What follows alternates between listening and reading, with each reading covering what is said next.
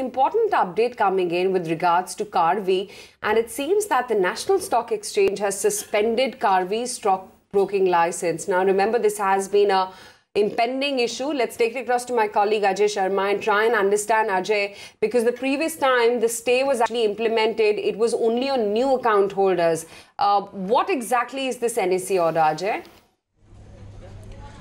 Well, that's correct, uh, Aisha. This is a developing story, and the bad news is that uh, you know the amount of uh, funds which are allegedly uh, misused, that amount is only going higher.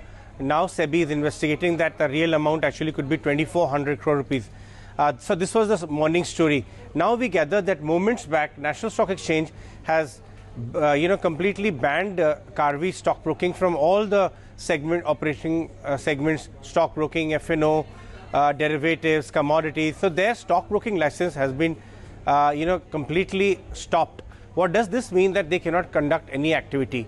But there is, uh, you know, the retail investors who hold uh, shares with Karvy, they, they, of course, in the last several days have been migrating to other platforms, uh, other stockbrokers, as well as they will be able to uh, successfully take their, uh, you know, shares to other brokers and their operations to other brokers. We understand National Stock Exchange has done it moments back, but uh, Bombay Stock Exchange, according to our sources, is also likely to do it uh, in, you know, in just they operate together, so they will also do it. Now, the, the question is that uh, the amount of money which was misused uh, on, uh, by the promoters uh, pledging the shares of the clients, that gap is standing at close to 1400 crore rupees.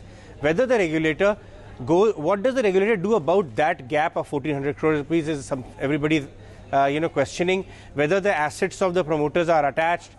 They have a valuable company, a fintech company, whether that uh, you know, the shareholding is attached, where General Atlantic is holding the majority shares. That is something which everybody is talking about. Uh, but at least pro it's progressing, and regulators and exchanges are coming hard on uh, this. This is some. This is something a positive one. All right. Thanks for that, Ajay. That's the news we're tracking for you at this hour. We're going to take a very quick break. Back with more on the other side.